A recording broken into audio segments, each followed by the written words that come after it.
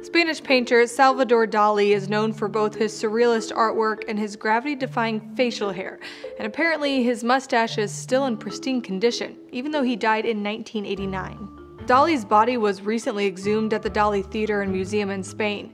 That's thanks to a court ruling in a paternity suit filed by a woman who says she's Dali's daughter. Dali never fathered any children that we know of. He had a rather unique relationship with his wife Gala. She stayed in a castle in Catalonia, and Dali could only visit if she sent him a written invitation.